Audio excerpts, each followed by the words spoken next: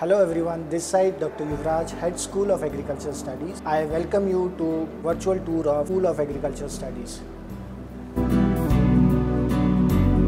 Today we are here in a, one of our agriculture labs where we keep our farm tools which are used for the cultivation of the crops. Dr. Neha. I'm working as an assistant professor in the School of Agriculture Studies. Now we are demonstrating here how to assemble the knapsack sprayer.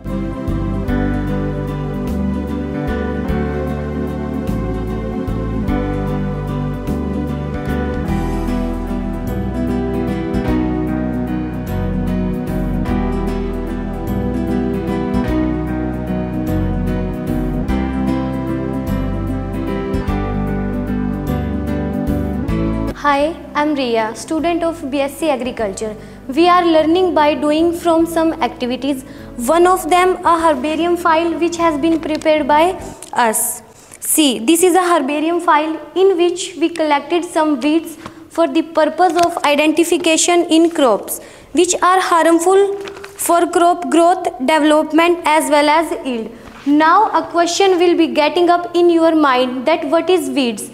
The unwanted plants that affect the crop and crop growth is are called weeds. Welcome to our GU farm. Here students are producing organic vegetable Hello everyone, my name is Mansi Sharma from BSc Honours Agriculture. So here we are demonstrating the process of staking. Hello everyone, I am Akanksha Methani from Delhi pursuing BSc Honours Agriculture in Geeta University.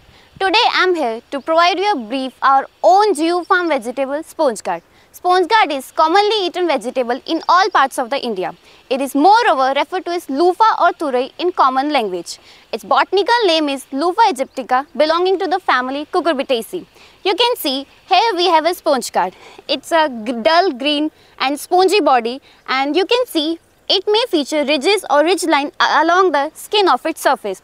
It grows up to 60 centimeter in length. As you can see, we have used bamboo sticks in the field. The major purpose of using these sticks that it provides natural growth to the plant and develop the fruit fastly and it also support its growth. Geeta University, Panipat.